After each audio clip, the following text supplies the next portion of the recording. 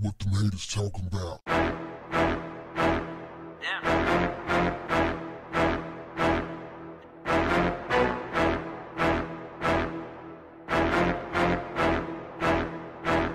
What's up, family?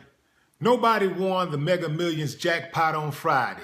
That means Tuesday's jackpot now stands at a whopping $343 million. Man, what would you do? That's what I want to know. That's the question of the day. What would you do if you were to win $343 million? Wow, that's a lot of cash. Now, here's the deal. Those other folks, uh, bad luck, may just mean good luck for you. Because Powerball officials announced that there will be at least $384 million for its drawing on Saturday. That's today. Now, that's because no one won on Wednesday. $384 million. So that's a to- that's over $700 million altogether. Hey, what if one person won both of those things? That's crazy, huh? Now, I know before you put your money up, you like me, you know, you watch your money before you put it up, you got to know what the odds are, right? Well, let me tell you what the odds of you winning are. The odds are 1 and 292 million and 2 for the Powerball. Now, if the numbers favor you, Powerball has two winning options. You can either uh, accept the 30 payment annuity for the entire 384 million or a one-time cash out of 239 million seven hundred thousand dollars. Hey man, have it your way. Either way. For Mega Millions, the annuity is $343 million with a one-time cash payout of $215 million. The odds of Mega Millions, if you win in Mega Millions, are 1 and 200 58 million. Now you say, man, those odds are astronomical. Yes, but if you live in the United States, what is that, like 300 million people here? And you're one of them. So, hey, man, you know, it's possible. It's possible. A long shot, but it's possible. Now, you know, I don't play the lottery. When it first came out, back in the early 90s, I used to play all the time. Boy, I used to, I used to buy like a couple of hundred tickets. And I'd be like, I'd be all in the barber shop scratching off tickets and stuff, trying to see what's going on. Never could win. You know, I'd spend $100 and win like $4. Spend $200, win $8. Stuff like that. The most I've ever won playing the lottery is like eight dollars, and I think that was with two tickets. Yeah, man, I, I'm t- I'm not a good person when it comes to uh, winning money, uh, even finding money. When we was younger, my sister, on the way to school, would always find money. I got to a point to where I thought she was probably stealing it out of my mama's purse. Because she found a $50 bill, a $20 bill, a $5 bill. The most I've ever found, I think, was like a 20. I think I may have found a $20 bill. But other than that, everything I got, I have to work for. I'm not a lucky person in the sense of having things just delivered to me given to me. My everything I have really is earned, not given. So I'm not really good at it, but there are other people that are lucky as hell. There's some people always seem to figure out a way to come up on on stuff, man. You know, some people just some people are just lucky.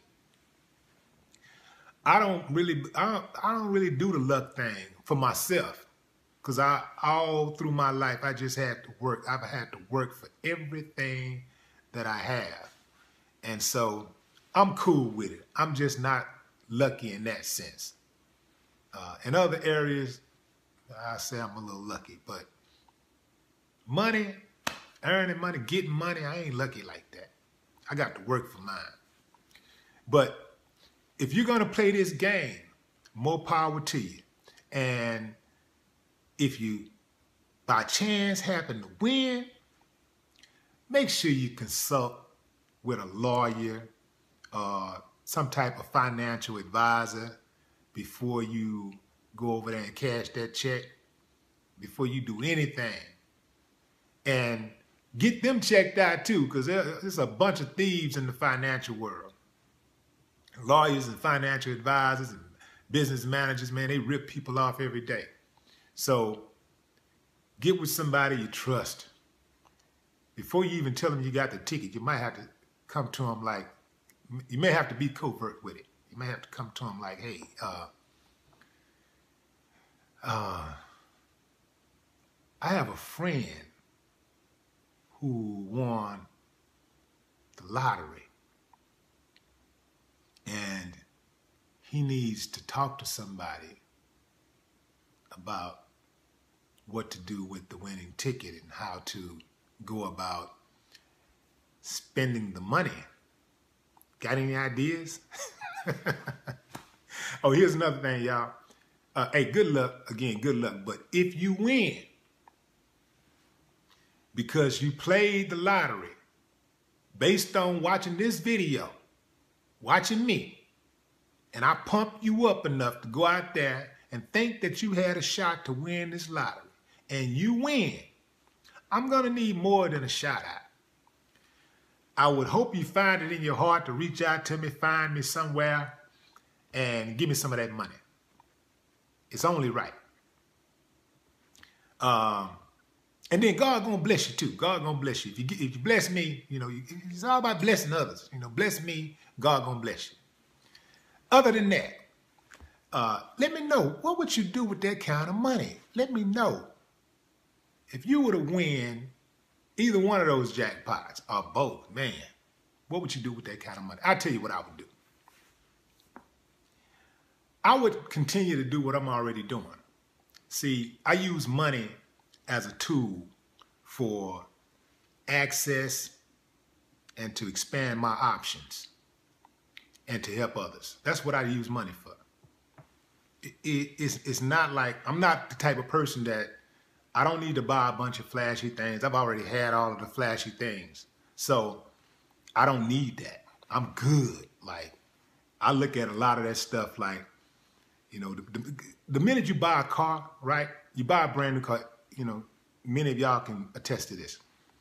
You buy a brand new car and it's a beautiful thing, and you're riding high and you're feeling good, you feel like you're floating. And then after about two months, you're just hopping in and you're just in and out. It's just a car.